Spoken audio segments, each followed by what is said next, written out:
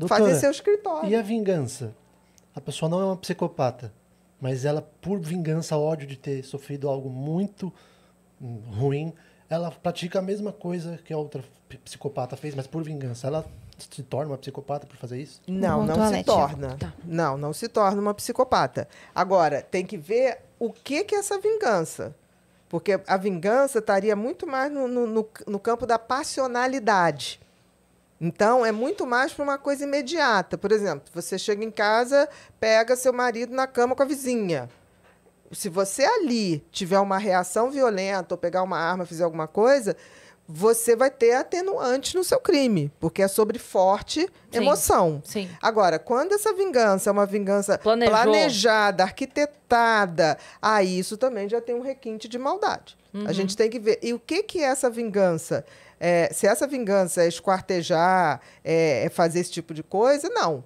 Vamos lá, o caso da, daquela que matou o marido e esquartejou, Elisa. Elis Matsunaga. Matsunaga. Não dá para entender uma pessoa que corta a cabeça e esquarteja e sai com uma malinha.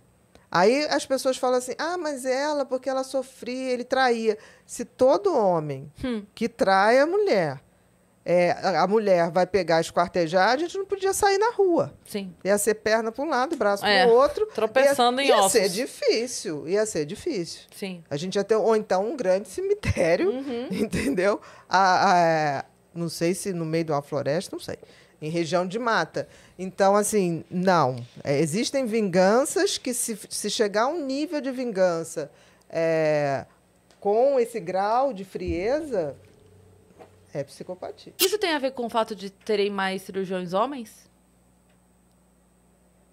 Essa frieza, talvez? Olha, se você. Menos emocional e mais razão, assim? Pode ser. Não tem nenhum estudo para eu te citar sobre isso. Mas pode ser. Mas eu conheço mulheres brilhantes cirurgiãs. Ah, sim, não, não, mas eu digo, talvez essa facilidade A maioria, não se né? envolver. Não, não sentir tanto. Sabe? Faça com É que mais o homem fácil. queira se É. tornar E- cirurgião, é, é, isso? sabe? eu entendi. É, porque assim, Ter de repente a ser mulher- mais racional. Isso. Né? É, de Ser repente mais a mulher, por racional. ela ter esse lado mais emotivo. Você está falando uma coisa interessante, Cris. Por exemplo, é, eu acompanho muito paciente, ainda mais paciente que tem pânico, que aí quer fazer uma cirurgia, quer fazer plástico, uma paciente que fez redução é, bariátrica, depois vai fazer, fica com medo. Ah, Bia, pode me acompanhar? Vou, não tem o menor problema, só marcar com antecedência. A cirurgia, o centro cirúrgico do homem operando é totalmente diferente da mulher. Por quê? O homem operando, eu gosto de estar falando isso. Ele fica falando de futebol. Ele está lá operando e fica assim: você viu não sei quem, não sei quem, fulano, não sei o que lá. É como se não tivesse um corpo ali. A mulher operando é concentradíssima. Concentradíssima. Eu lembro, Nossa. na, ces- na- na minha cesárea, Interessante quando eu isso, fui né? ter a Mariana, eu É agora que lembro perfeitamente, eu lembro do... Eu aqui, porque na cesárea você tá acordada Sim. e você tá, né? Peridural, assim, se você é, fez peridural Aqui, aqui. tô, tô tranquilona aqui, É. é. só muito frio, porque tava um frio desgraçado, e eu tava com frio daqui pra cima. Uhum. Era a coisa mais engraçada, porque a anestesia pega daqui pra baixo. E eu tava com nada. tosse, só que aí eu, conseguia respirar, mas eu não conseguia dar o, o- a força do abdômen pra, pra tossir. tossir. Então eu ficava assim... Era a coisa mais engraçada. Todo mundo ria na sala, todo mundo ria, cada vez que eu tentava tossir. Mas o que eu ia falar é que eu lembro perfeitamente de eu estar aqui e os homens lá cortando, não sei o que, não sei o que, não sei o que. E eles estavam, te juro, tinha inaugurado um supermercado na cidade. e eles estavam dizendo que, ah, porque eu, eu vi o preço do achocolatado nesse supermercado, tava em promoção. E aí tava valendo a pena porque no outro. Eu juro, eles me cortando, eu estava ouvindo sobre o preço O do centro cirúrgico Eu lembro de homens perfeitamente disso. é muito assim. Eu, eu lembrei agora de várias Uhum. cirurgia também, não tinha parado para pensar nisso. Como se não estivesse fazendo Eles nada. falam ali, muito de futebol, eles falam assim, você viu que fulano tá comendo aquela mulher assim, mas é normal. Aí uma vez eu perguntei, falei, não, é pra relaxar, pra gente não ficar tenso. No- eu sim, falei, tá. sim. E, por exemplo, Ainda bem e que- eu, e eu falando assim, ainda bem que o paciente tá dormindo, né? É, É, panicado. e a Ou eu tô aqui. Escutando. Não, e eu falando assim, falei, gente, acontece comigo também. Já a cirurgia de mulher é totalmente diferente. Foco, Por exemplo, a melhor cirurgia plástica que existe é uma mulher chamada Bárbara Machado, que foi sempre o braço direito do Pitangui, depois nos Sim. últimos 20 anos já era ela, né? Não era mais o Sim. braço, era ela. Então é com ela que a gente quer E a conversar. coisa. É. ela é maravilhosa, maravilhosa. O que, que Será que dá aconteceu? tempo ainda em março, Dani? Será que a gente... Bárbara Desculpa, Machado. É porque Bárbara a gente, a gente tá fazendo Machado. um, um mês de março de mulheres fodas, inclusive por isso você está Oh, que aqui. coisa boa. E a gente queria, tipo assim, a- as picas de cada profissão. Gente, eu posso falar com a Bárbara. E temos Vai algumas datas no final do mês ainda. Posso falar com a. Bárbara. Vai ser uma honra. se Porque assim, a Bárbara é é uma mulher pequenininha e eu me lembro que eu já vi várias cirurgias plásticas que ela fez e foi a única que eu deixei mexer no meu rosto, né? É, claro, depois que eu vi, eu falei, é essa. É essa. não tem- É. Gente, ela entra, ela bota uma bancadinha, sobe, né? Ela, se, ela vem toda vestida como se fosse esquiar. Bota aquele óculos de esqui e ela fica quieta, mas não tem um nada, nada, nada, um silêncio Sepulcral. É o melhor tempo cirúrgico que eu já vi. Porque eu já vi a cirurgia plástica, o cara ficar 11 horas operando. Eu falei, esse médico é louco, ele está esquecendo que a pessoa está anestesiada. Sim. Anestesia dá- tem risco. Aham. A maior cirurgia da Bárbara, ela tem um tempo cirúrgico exato, não passa de 3, 4 horas. Meu Mas Deus. assim, com tudo feito, refeito. Perfeito. Pode acordar a pessoa. Pode acordar a pessoa. Meu Deus. Inacreditável. Incrível. Inacreditável. O bisturi gosta dela. Não tinha aquela história que a bola amigos. gostava Aham. do Romário. Sim. Sim. O bisturi gosta dela. Acho que vem na mão dela e começa. Cara, eu tive, eu tive um, um pequeno acesso de pânico antes de entrar. Eu fiz a rino e eu já contei pra Yasa aqui que eu tive. A hora que eu fui. Tava tudo certo, era o sonho da minha vida fazer. Tava tudo certo, fui lá, guardei dinheiro. Ai, isso aqui, vamos. Escolhi o cirurgião que já era conhecido de todo mundo, já tinha muitos amigos que tinham passado, porque também é A aquela gente coisa, tem- você é. não vai, né? E aí, ok, tava confiante. Não era de forma alguma medo dele, do profissional, nem do anestesista dele, que são maravilhosos. É, mas eu tive um- uma crise do tipo assim, cara, é, pode acontecer alguma coisa comigo. Eu sou mãe, eu tô colocando a, a minha vida em risco por uma coisa estética.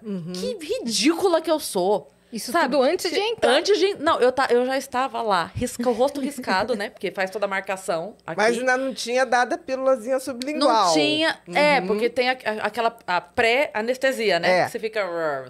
E eu sabia que depois desse. Já Não é. tinha aí você não volta. tem mais volta. É. Então eu tava lá toda arriscada, porque tem marcação que ele faz, só pra explicar pra galera, que tem marcação que ele manda você sorrir e marca. Isso, isso Porque ele mesmo. precisa ver algumas linhas, né? Então eu já tava toda riscada aqui na cara. Só que a enfermeira entrou pra dar a pré-anestesia, que foi, foi a injeção, não foi? Injetar. É. Aí, aí nes- neste momento eu caí em prantos. Eu já tinha deixado carta pra minha filha, já tinha deixado carta pra todo mundo. Eu caí em prantos nessa hora. E fo- aí foi isso, assim, ela, daí ela, imagina, a enfermeira com o maior cuidado do mundo veio, fique tranquila. É, a- as coisas estão muito mudadas hoje em dia, não é mais como era antes, a segurança aumentou demais. Não tem Em tanto foi geral, hoje, centro cirúrgico, hoje, em geral, são dois anestesistas. Pra Uhum. se acontece com alguma coisa com um, ter O outro. outro. Hoje, um bom padrão, você trabalha Sim, com sim. dois anestesistas. E você está falando uma coisa, isso é muito típico de pessoas que são arrimo de família. Essa sensação de. Se acontece alguma coisa comigo? Sim. De alguma maneira, a tua ligação com a tua filha é uma ligação de que você sabe que ela. Não tô, tô dizendo que ela não tem pai, né? Aham. Pelo contrário, ela tem Mas é pai. como se não tivesse. Mais dá trabalho do que, meu Deus Entendeu? do céu. Mas você sabe o quanto a da tua responsabilidade, assim, Sim, nesse total, sentido. total. Mas é isso, sabe? É esse pensamento de. Por causa de uma vaidade. Que ridícula que eu sou, sabe assim? Entendi. E aí, mas enfim, graças a Deus deu tudo certo, eu acho. Eu tô aqui. Ah, ah, não é Matrix, não é Matrix. você tá aqui. está aqui. Eu comecei a terapia agora há pouco, né? Fiz duas sessões. Primeira vez na minha vida. E o meu psicólogo estava falando que de um ano pra cá, nunca tantas pessoas procuraram ele por burnout. É uma, é uma coisa que a gente ainda vai ter que pesquisar, porque assim, já era alto Sim, tá nível muito mais alto. em 2018, em 2019. Não precisa nada. Em 2018, a Organização Mundial de Saúde decretou um ano de combate ao suicídio. Sim. Entendeu? Em 2018. E naquele momento, isso são dados da Organização Mundial de Saúde, você tinha um suicídio a cada 40 segundos no mundo, antes da pandemia. Depois da pandemia, Se agravou muito. com certeza, porque deu os dados. Sim. Porque tem uma outra coisa também, o suicídio não é divulgado. Uhum. É que Porque não pode, né? E que eu acho que é errado. Sabe por quê? Eu não sou contra. Eu acho que a forma como divulgam é errado. Porque só divulgam suicídio, por exemplo, todo dia tem suicídio. Mas só divulgam quando tem alguém conhecido, aí as pessoas formam aquilo é como se fosse assim: ah, fulano não aguentou o mundo cruel e suicidou. Faz aquilo quase uma coisa romântica. Isso é ruim. Sim. Romantizam. Romantizar o, o ato de suicídio, porque o suicídio é a coisa mais antinatural para o cérebro. Tá? E o cérebro faz tudo para sobreviver. O suicídio é o oposto. Sim. Né? Então, eu, eu sou contra, eu acho que a imprensa é, ela tem que arrumar um jeito da gente falar, porque assim, é uma epidemia, tá? É uma pandemia Ignorar não vai silenciosa. Silenciosa. não vai ajudar. Não, mas falar Sim. do jeito que tem que Sim. falar. Sim. Do tipo, 90% dos suicídios são evitáveis. Sim, São evitáveis. sim. Porque são consequências de depressão não tratada, Uhum. de bipolaridade, maior índice de, de suicídio entre bipolar. Sim. Porque o bipolar, ele vai da- de uma euforia, quando ele cai no, no- na depressão, ele É um cai num fundo, muito fundo. Que tão forte que ele pode, ele pode realmente Me falaram isso uma vez, que a, a pessoa que ela tá acostumada com a nuance, é mais difícil ela cair e não conseguir levantar. Exatamente, exatamente. A pessoa que tá que não tá acostumada com a nuance, que tá sempre bem, a hora que cai é mais difícil de... É que nem coração, né? Por exemplo, é, é, entre 30 e 40 anos, você ter um infarto agudo é muito mais mortal. Sim. Por quê? Porque depois de 40 anos você começa a fazer a tal da circulação co- colateral. Que o coração já vai ficando mais rígido, o próprio organismo vai criando novas circulações, como vai criando as veiazinhas Uhum. da gente. Sim. Então, o que, que acontece? Quando tem um infarto mais velho, já tem circulação colateral sustentando. Uhum. Porque já Entendeu? tava meio que. O corpo já estava se preparando. Para o envelhecimento. Exato. Para essa, para esses eventos. Agora, quando a gente tá aqui jovem, o coração lá, tá, tá, tá. no máximo, Se né? tem um infarto, é. ele geralmente é fatal. Sim, eu vi eh, no, no, no Twitter alguém escrevendo. Chegaram aqui no hospital, chegou uma jovem de 23 anos, caminhando lento, com, com uma dor no peito, Uhum. não estava se sentindo bem, infartou, faleceu. E outra coisa que a gente tem 23 hoje, anos. Yasmin, que me preocupa muito, a gente está tendo um boom de câncer de fígado e de infarto em jovens. Por Álcool. conta, não só álcool, álcool anabolizante. Nunca se usou tanto anabolizante. E mulheres, né? Nós somos mais, é, mais. Você, por exemplo, a nossa constituição física eh, tem muito mais tecido de gordura do que os homens. Porque os homens têm mais testosterona e a gente tem mais estrogênio. Ok? O que, que acontece? Você hoje vê mulheres com zero gordura. Aquilo não existe sem bomba. Como também os homens, depois de uma certa idade, aquilo não existe sem bomba. E não é bom pro corpo não ter gordura nenhuma. Não pode, porque a gente precisa de gordura para fazer hormônio. Sim. Por exemplo, uma menina anoréxica, o que, que acontece com a menina anoréxica? Deixa de menstruar, Sim. porque ela deixa de ter hormônio. Uhum. Então, o que, que acontece hoje? Hoje há uma, uma, uma epidemia de uso de, de hormônios que você vê, você sabe, eu pelo menos sei direitinho quem é, toma, repõe Uhum.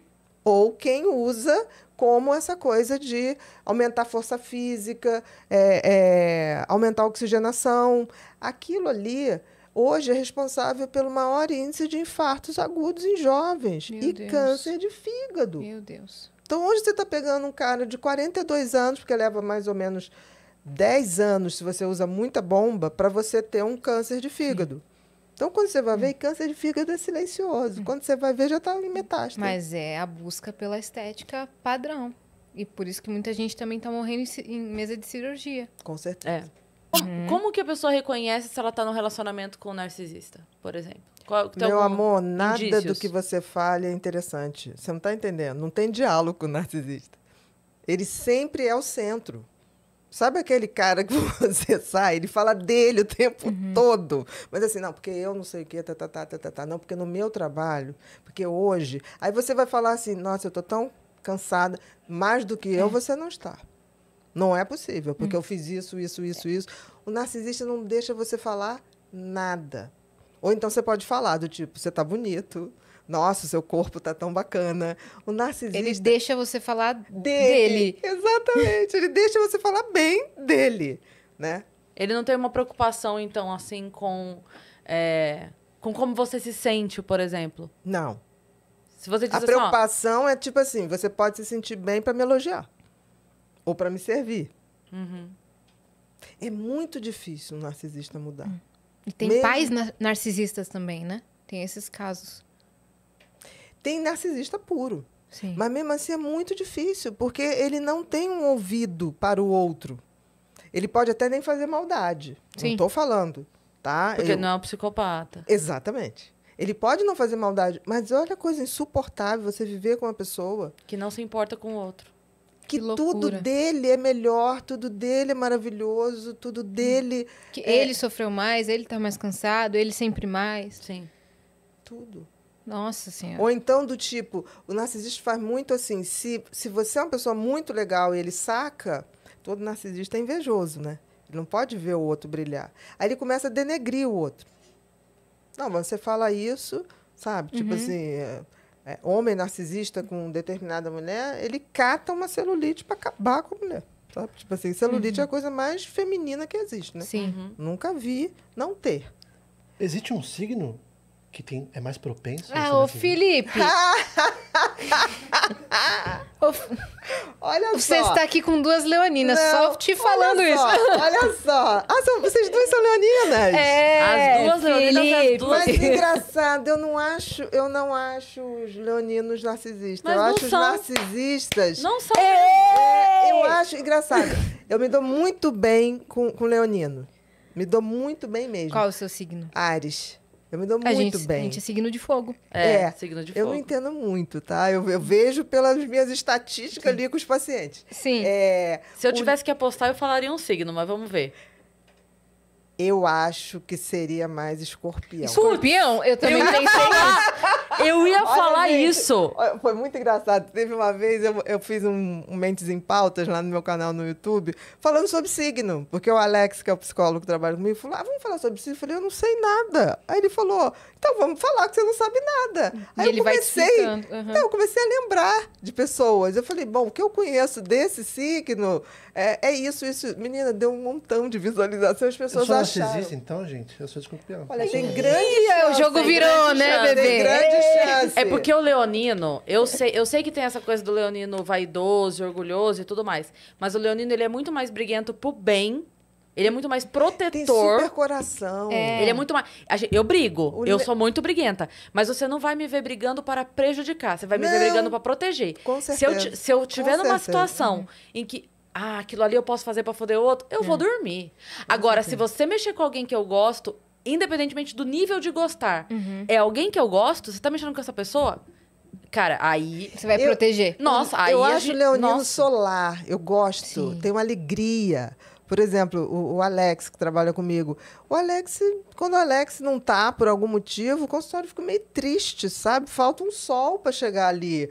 Né? Ele assim brincando, ele ajuda todo mundo. Pelo contrário, até se ferra de tanto que Sim. ajuda. Uhum. Né? Se alguém contar uma história triste, ele já fica. Eu falo, menos. Uhum. Menos, que eu acho que isso é mentira.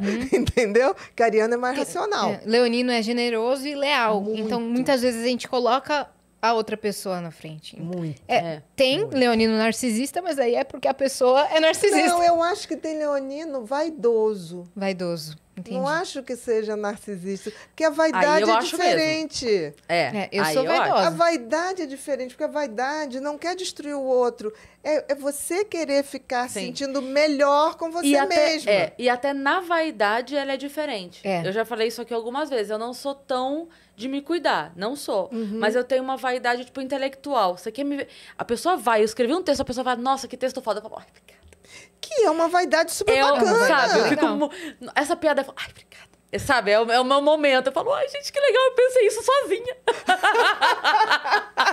então, a minha vaidade legal. mora nesse lugar, sabe? Eu não sou muito de roupa, não sou muito mesmo, não ligo. Uhum. Mas eu tenho a minha verdade, eu sei que eu tenho. Eu sei que eu, eu sei onde é o meu pecadinho ali, eu conheço. Mas não chega a ser um pecado, porque é pra você. Uhum. Sim. Você não, você não tá buscando ou tirando nada de ninguém. Entendeu o que eu tô falando? é um Sim, movimento sim. seu. Uhum. Né? Isso não é, não, não, não traz uma coisa pejorativa ou Sim. negativa. Mas é impressionante como algumas pessoas associam essa característica com, com o negativo. Não. Sim, Né? sim. Muitas pessoas associam isso, falam, Sim. ah, aquela lá é narcisista, é egocêntrica demais, entendeu? É. Porque a gente Acho perdeu a que é um capacidade de, de ver o amor próprio e incentivá-lo. A gente sempre acha que o É. outro tá só. Ah, então ele se ama? Ah, tá se achando. É. Ah, quer passar por cima dos outros. Ah, então é superior. É. O amor próprio. escorpião nessa- é horrível. Escorpião, além de ser narcisista, acha que é o melhor cara de cama que existe na face da terra. E olha, vou dizer que não é, porque já, Não sei, Já não passei sei. por lá. Eu não posso dizer. já passei por lá. E devo dizer que os arianos põem o escorpião no bolso tirando o outro. Ih, Isso, tá com o escorpião no bolso?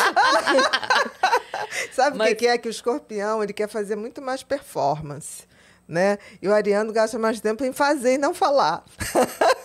É isso. É isso, é verdade. Devo concordar. É verdade. Devo concordar. Mas é isso. Não fica fazendo propaganda enganosa. escorpião é propaganda enganosa. Eu descobri um método que me faz faturar alto todos os meses, mesmo sem precisar aparecer. Dá uma olhada aqui, ó. Mais de 10 mil todos os meses, 18 mil em apenas um mês. E depois de muito tempo, eu decidi revelar esse segredo.